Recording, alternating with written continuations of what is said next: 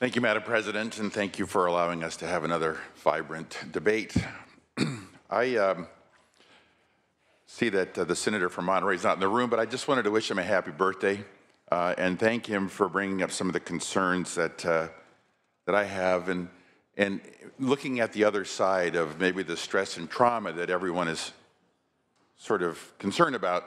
Uh, the first is mutual aid agreements. I come out of county land, and, and we have assistance agreements.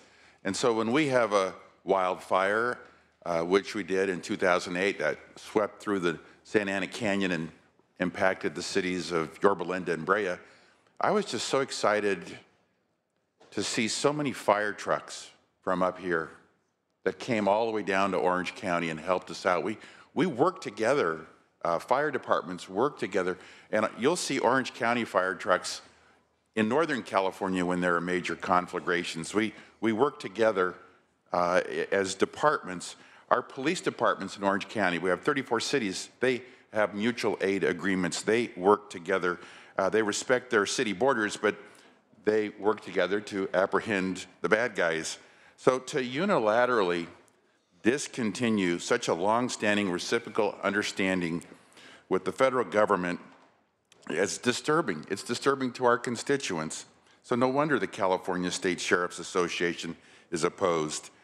Two cities of refuge is actually uh, it's actually uh, a, a, scriptural um, phenomenon. Uh, the Torah in the Old Testament actually set up cities of refuge. We call them now sanctuary cities. Uh, so it uh, it's, it's a, it's a, a long-standing uh, historical fact. Um, but to have a derivative of a sanctuary city, now a sanctuary state, is, is very disturbing to uh, the majority of our constituents, our the citizens of California. They don't wish to be known as a sanctuary state. In fact, uh, this uh, afternoon, uh, I was notified of 10,000 signatures that could be delivered to the floor uh, just by one radio show program out of San Diego on KOGO 600 AM. The Carl DeMaio show had 10,000 people sign up quickly. So, three, why do we want to engage the federal government in yet another funding battle? Uh, California has a very precarious budget. It has major unfunded liabilities. It has major retiree medical expenses. It has severe infrastructure concerns.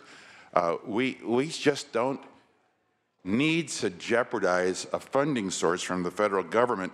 So with a state that is really having some fiscal uh, concerns and is going to be asking our residents to step up to the bar for another tax increase, uh, we need to be a little more cautious about what we're doing with the big picture, and I urge a no vote on SB 54. Thank you, Madam President.